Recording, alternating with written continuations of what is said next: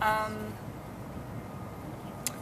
well, I'm just gonna share my first thought, which is not an animal. For some reason, a leprechaun came into my head.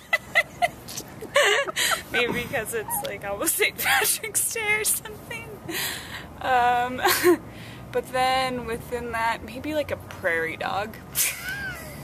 I think that'd be kind of boring though. uh, now I'm just thinking about water. Hmm. How about a sea anemone? Is that an animal?